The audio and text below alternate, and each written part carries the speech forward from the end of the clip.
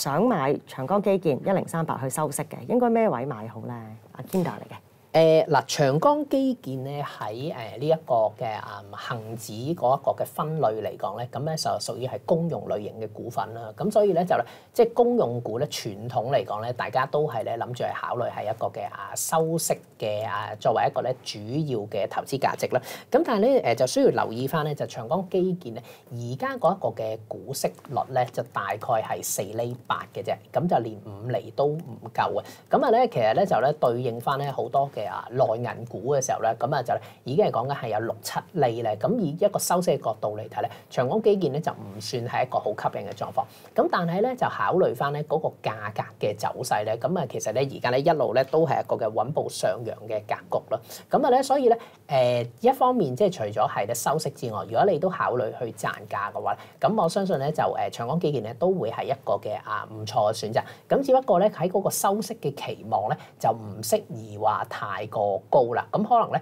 喺誒現水平去買入咗嘅時候咧，咁啊咧未來一兩年咧可能個股息率咧都係維持翻咧喺誒四點五啊去到五厘之間嘅位置。如果你話咧接受到嘅話咧，現水平都可以考慮吸納嘅。咁但係如果你話誒、即係得四厘幾，可能未必咁吸引嘅話咧，咁睇下有冇機會個股價咧就誒落翻去咧靠近五十蚊呢啲位咧先考慮吸納咧，咁、個股息率咧可以有超過五厘咧，個投資價值會更加高。